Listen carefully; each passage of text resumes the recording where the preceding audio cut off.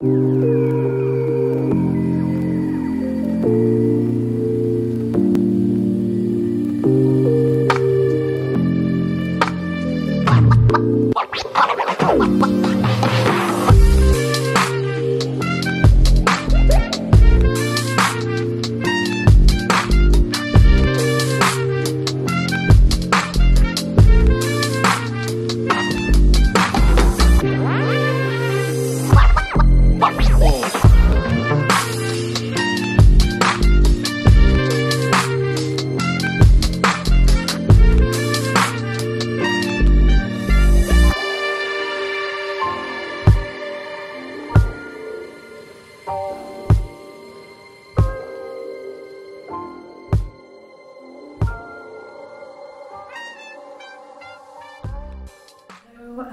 welcome back to my channel. Thank you so much for tuning in again. Um, today is a very special day because it's my birthday. So I'm even more grateful that you are watching today. Um, I've tried to do something a little bit different with the past week with the vlog. So I've actually done a little bit of recording every single day. Some days more than others. There's not been anything huge going on but I just wanted to do like a realistic what I do kind of thing without obviously recording everything. um, so hopefully that's nice and enjoyable, and if it is, then I'll try that format again. I haven't got really any birthday footage, so that'll probably be in the next one. So um, yeah, uh, I have been painting. I've been doing something experimental and I always say that pretty much everything I do is an experiment, and also um, just general day to day life. There's really nothing huge or major happened in the past week. Obviously, today's my birthday, and I like to kind of honour that and um, things that I've been doing today, um, which I haven't got any footage of. I have done some special EFT tapping sequences. I've done a huge gratitude list from everything for the past year. I have um, done an oracle card reading, as you can see. I love some oracle cards. Um, so I did an oracle card reading with, with a card for every month for the next year, uh, which I will look back on monthly and kind of discover what the energy is that's necessary for that month. And then I've done some goals. I've written 10 goals down for the next year, kind of quite big goals. And then I have done a vision board as well, which I've just printed out. I'm going to stick up in my office. So, yeah, I think it's really important for me to honour and be grateful for the past year and then look forward to what I want to achieve and feel in the year ahead. Um, so goals for me, they're not never really necessarily I want to make this much money or I want to live here. It's more about how I want to feel and I want to feel as though I'm growing. I want to feel as though I'm healthy. I want to feel as though I'm doing the best I can for my family and I want to have lots of adventures. That's the most important thing for me, a lot of the time, is just to make the most out of life, and that comes from a deep gratitude of being here, of existing, and having the opportunity to explore this wonderful world. so, thank you again for watching, and um, I hope you enjoy the vlog, and I'll see see you and speak to you again soon. Bye.